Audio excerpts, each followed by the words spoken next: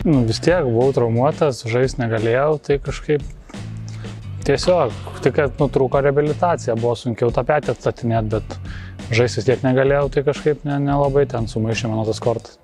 Ar patį, kaip priėmė tą naujieną? Sezono nutraukimo? Nežinau, kaip ir realiai šiek tiek tikėjomės, galvojom, kaip čia bus. Tai, tai nežinau, labai per daug nenustebino. Taip, ką žinau, tiesiog, vat, eilinė, ne, ne tai, kad eilinė diena, bet, nu, atsitiko kaip atsitiko. Kaip pačiam ta rehabilitacija po traumos?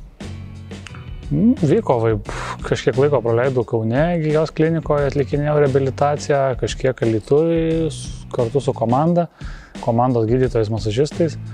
E, Šiaip paskui, aišku, pats perėjau, namie dariau rehabilitaciją, nes jau viskas susidarė, niekas nebedirbo. Bet čia viskas pavyko gerai, petys sugijo tvarkingai ir netgi greičiau negu kad buvo tikėtas.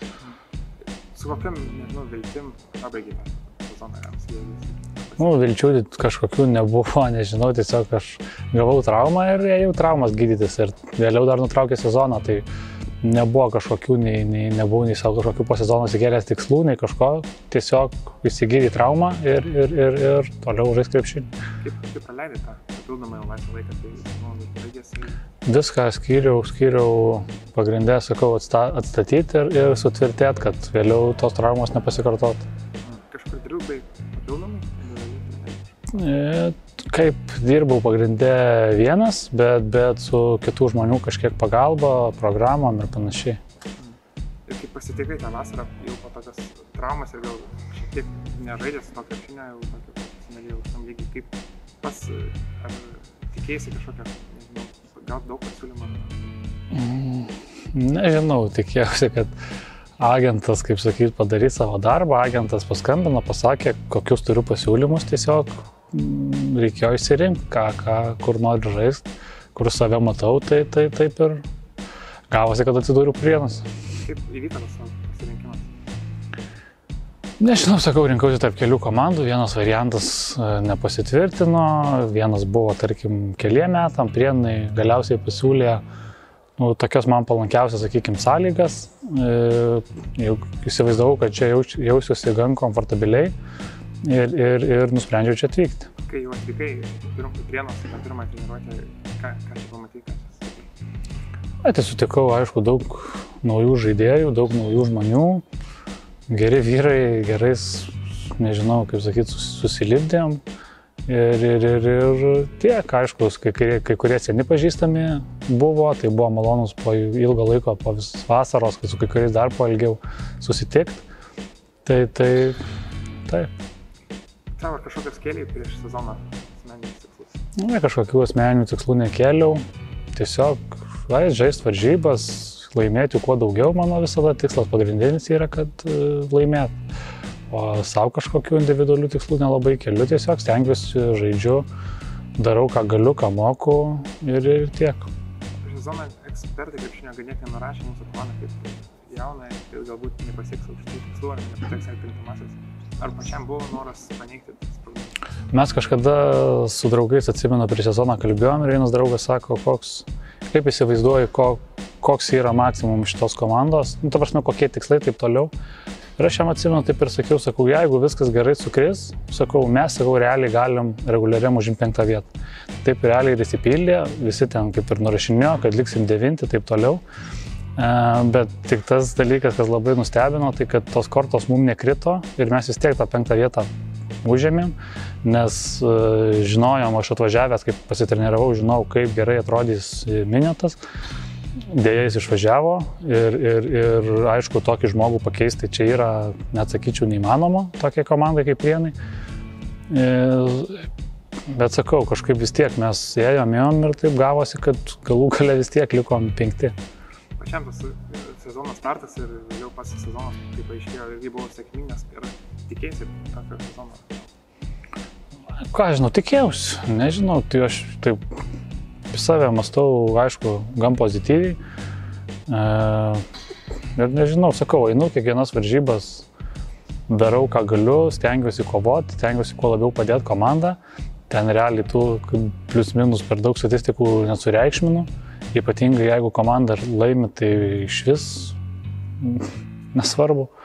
Ir, ir tiek, o jau kaip sakau, kaip gaunasi, kaip, kaip kas susimeta, kaip ką pataikau, tai liuks, jeigu gerai.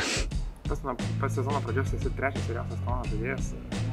Ar pačiam tai galbūt papildoma atsakomybė pridėjo kažkiek naštos ant pečių ir galbūt vertė pasitemti? Ne, nepasakyčiau, kad pridėjo kažkokios atsakomybės ar kad vertė pasitemti. Aš sakau, šiaip apskritai iš savęs visada stengiuosi ir gerai treniruotis ir, ir žaisti varžybose kaip įmanoma geriau. Tai, tai tas, kad ten aš vyresnis, jaunesnis, didelio, didelės įtakos nedaro. Labiau gal buvo keista, kad ateini ir kaip prie toj komandoje buvau realiai ten turbūt antras ar trečias jauniausias. Tai dabar iš karto per vienus metus taip gaunasi, kad aš ten antras, trečias vyriausias. Tai, tai va tas toks įdomus dalykas, taip net šypsena kelia realiai. Kaip sunku buvo ar komandai viduje, bendrai aikštelėje, po to, kai Žymantas Minkas buvo tikrai geras startas, paliko komandą? Tai aišku, buvo sunku, nes turėjo pasikeisti mūsų, kaip sakyt, komandos žaidimo braižas, reikėjo vėl viens kitą kažkaip kitaip pamatyti, kitaip išnaudoti ir panašiai. Ir, ir nu, tikrai netekom lyderio, kuris ten LKL, LKL buvo naudingiausias turbūt žaidėjas, kai išvažiavo. Praradom daug atkovotų kamuolių, daug taškų. Ir, ir kažkaip turėjom jį pakeisti, bet sakau, kažkaip viskas susistigavo gerai ir, ir, ir mėnesių bėgi, manau, mes jį kažkiek pakeitėm, kompensavome netikti. Aišku, su juo čia turbūt galima būtų iš vis svajot, kas būtų buvę, bet nu, yra kaip yra ir nemanau, kad tas rezultatas blogas. Kaip komanda pristaikė prie, prie tų pokyčių sudėtyje? Tai taip, aš manau, po truputį irgi. Iš pradžių, kaip ir minėjau, buvo sunku, aišku, po jo išvažiavimo buvo atšaukta nemažai varžybų, kaip tik buvo rinktinių ta pertrauka, patys šiek tiek e, turėjom čia viduje tą virusiuką.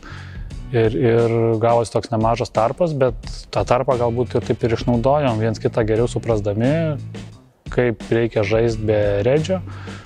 Ir, ir, ir laikui bėgant viskas susistigavo. Sezono viduryje buvo tokia nesėkmių, ganėtinai kur ten buvo iš pralaimėta penkis kartus iš eilės, vėliau keturis.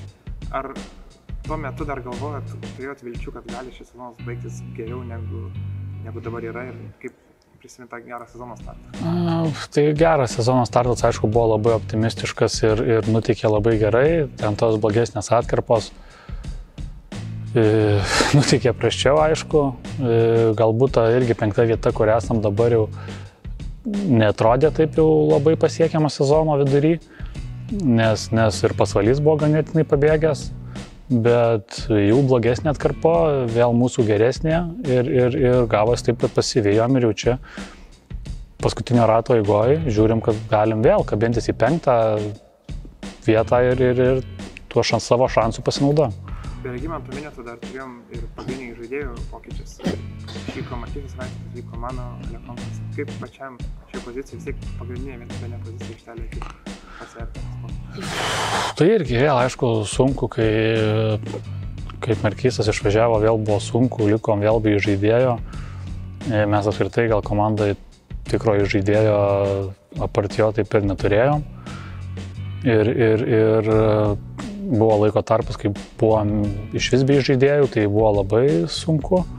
Bet vėliau, at, ganėtinai greitai, net sakyčiau, po Markyso išvažiavimo atvažiavo manų. Ir manau irgi puikiai įsiliojo į komandą, iš karto rodė gerus rezultatus, labai greit supratom vienas kitą. Ir, ir tikrai labai mums padeda ir yra vienas komandos svarbiausių žaidėjų. Ir pačiam po tų visų tiek daug permainų, ar dar buvo viltis komanda, kad ar galima iškovoti vietą penktą ir po to, kai jau paaiškėjo, kad iškovojom penktą vietą, ar nebuvo pačiam nors keista, ar būtų nuostabu? Na tai sakau, sezono vidury taip kažkaip jau atrodė, kad ta penkta vieta nuplaukė nes buvo pasvalys nemažai pabėgęs, bet kaip laimėjom kelias varžybas, pasvalys kelias, kelias pralošė, tas viskas įsilygino. Aišku, ten irgi mes momentų, jau kai praradom Markysą, jau atrodė viskas bus dar sunkiau. Bet, bet čia skirtingai negu kad minėto realiai taip ir nepakeitėm iki sezono galo, o Markysą gan greitai atvažiavo kitas žaidėjas. Tai, tai sakau, pasvalys pralaimėjo kelias varžybas, mes kelias laimėjom, žiūrim, kad jau ta persvara nėra tokia didelė, kabinam, tada jau visas ketvirtas ratas buvo mintis, kad tikim savim ir kad galim užimti penktą vietą ir jau kai galiausiai tą penktą vietą užėmėm, tai jau tokios nuostabos nebuvo, nes mes dėl to kovojom ir to tikėjomės. Kaip pats galvoji, kokia ši komanda galbūt yra ypatinga ant popieriaus, galbūt galima būtų sakyti, kad nėra penktos vietos komanda, tačiau penktą vietą turim ir pats galvoji, kokie šios komandos yra pliusai prieš kitas komandas. Sunku pasakyti, nu, sakyčiau šiaip, kad visada kovojam, stengiamės, esame įsitraukę ar kelias beviltiškas varžybas, kur jau tikrai atrodė po 20, po dviejų kelnių buvo ten minus 20 ir panašiai. Tai, bet aišku, aš negaliu nu, nesakyti, kad kitos komandos nenori ir nekovoja. Bet sak, sunku pasakyti, nu, tiesiog, kad einam, niekada nenuleidžiam rankų, stengiamės, kai bus, tai bus ir aišku, kažkiek ir sėkmės faktoriaus yra, be sėkmės niekada nieko nepadarys. Bet, bet sakau, sėkmė, mūsų pastangos ir taip kartu gavosi, kad kažkaip išplaukėme į tą penktą vietą. Ar galima sakyti, kad vienas pagrindinių komandos pergalių variklių, tas, kuris atvedė į tą penktą vietą, yra tas charakteris jaunimo veržlumas niekada nepasidavė? Sunku pasakyti, nes kartais irgi tas veržlumas labai priveda prie daug klaidų ir, ir kartais mums ir trūksa labai to šalto proto. E, bet manau, nu tokia turi būti bendra visuma, kažkiek reikia gal ir veržlumo, kažkiek reikia šalto proto, kažkiek reikia to, kažkiek ano. Ir ta tokia gavosi pas mus galbūt nebloga kombinacija ir, ir tai padėjo laimėti varžybas. Kelias, kur sakau, beviltiškas, kelias, kur kažkas gal nesitikėjo. Ir, ir užėmėm tą vietą. Ar pas pasibėjai, kaip tas jaunimas, kur aplink tave yra ir komanda, Pastebėjai, kaip nuo sezono pradžios paaugo iki ten, kur yra dabar tobulėjimas. Iš tikrųjų, tai galiu pasakyti, jie vien kaip sezono pradžioje atvažiavo, tikrai jautėsi, kad jie yra geri, talentingi žaidėjai ir jiem realiai ko reikėjo, tai tik, kaip sakyt, apšiltas kojas, priprast prie kažkokių galbūt pasikeitusio greičio, prie mąstymo, suprast treneriai, gal komandos draugus bet kad jų tas potencialas, tai aš sakyčiau, kad matėsi nuo sezono pradžios, tai turbūt reikėjo toksai persiorientuoti į šiek tiek kitą lygį. Nes tikrai, aš manau, mūsų jaunimas tikrai yra labai potencialą didelį turintys žaidėjai ir laukia jų visų tikrai šviesi ateitis. Kaip galvoji, kur, kur yra šitos komandos lubos? Šitos? Čia nedaug liko laukti, pamatysim pats pajutėjai, kaip galvoji, kur pats patobulėjai per šitą sezoną? Nu, nežinau, net gal kažkiek patobulėjau kaip, kaip, kaip, kaip lyderis, sakykim, kad kaip va, prieš tai klausai minėjai, anksčiau galbūt buvau daugiau pratęs gauti patarimų, dabar jau tiesiog tenka juos galbūt dalint kitiem jaunesniem patart, kad kažkiek visus apramint ir panašiai, kad kartais numušta žaidimo tempą ir, pan, ir per treniruotės tas pats irgi pasakyti, kur kas daro klaidas. Ir, ir čia galbūt vat, labiau tokie dalykai. Dabar nemažai pagirų gauna komandos treneriai po šio sėkmingo reguliaraus sezono. Kaip pats vertini darbą šį sezoną? Jo, nu, tai treneriai pagirų gauna turbūt nebereikalo ir, ir irgi kaip ir mes kiekvieną dieną stengiasi, dirba ir sustato tą komandą pergalėm vadinkim. Aišku, ne visada pavyksta visus aplošti, prieš visus laimėti, visus, sakykime, kažkaip gal ir taktiškai apgauti, bet bendroji sumoji geras darbas ir, ir mums didelė pagalba. Na dabar prieš atkrintamasias, kaip galvoji, kaip komanda, kaip yra nusiteikus šiam dabar šioje sezono stadijoje ir kaip pats galvoji, kaip gali komanda tam pasirodyti. O kokie tikslai, ko tikimės, tai nu, mes vis tiek nesam favoritai, Mes visas, kaip ir visą sezoną vėl būsime underdogai ir tiesiog sukovoti ir kuo geriau pasirodyti, o jau kai bus, tai bus. Ar dar pagalvoji po šio sezono, ar turi kažkokius, nežinau, užsibrėžęs asmeninius tikslus, suplanavęs vasarą? Ne, čia vasarą planuoju dar šiek tiek anksti, nes dar čia neaišku, kaip tas sezonas tiksliai pasibaigs.